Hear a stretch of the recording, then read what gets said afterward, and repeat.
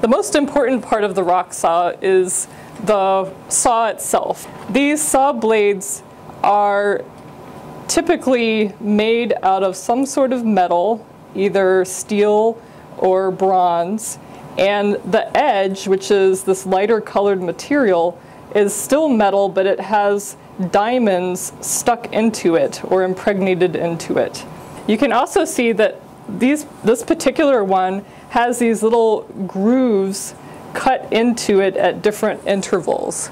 Um, these grooves are called gullets and they are there to help the water reach the sample better and also by having these in the uh, rock saw blade it makes the rock saw blade cut the rock faster. The rock saw is actually rotated by a motor that's up here and this motor turns on and off with a switch and so you'd have to find the switch on your instrument but here it is for ours.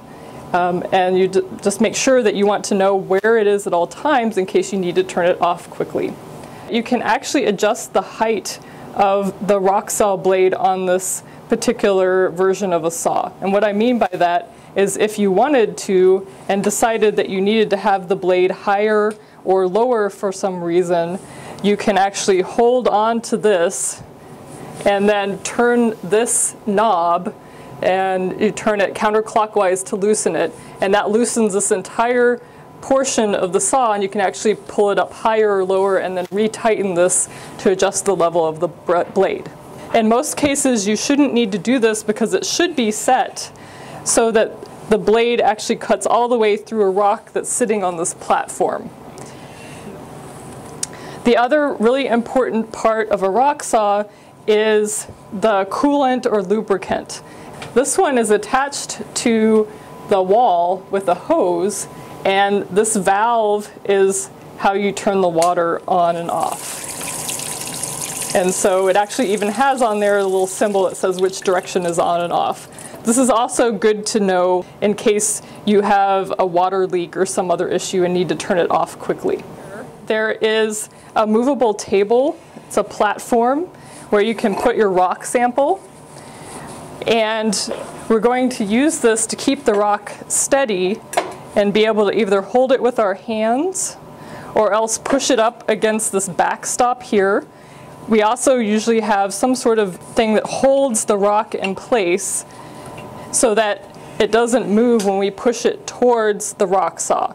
So that's the use of this movable platform is that we can use that to push it and hold it uh, while we cut the rock. And there's a groove in the middle of it and the saw goes down the middle of that groove and should then be able to cut entirely through your rock. You have a tray for the water to collect in. We actually have this thing at the bottom here which is called a sediment trap. It traps all of the sediment, the leftover kind of goo um, that's produced from cutting rocks and traps it there so it doesn't go into the drain system and clog the drain. And it's pretty straightforward but you have to always remember that uh, how to um, manipulate the rock saw and the lubricant correctly and that'll be in a different video.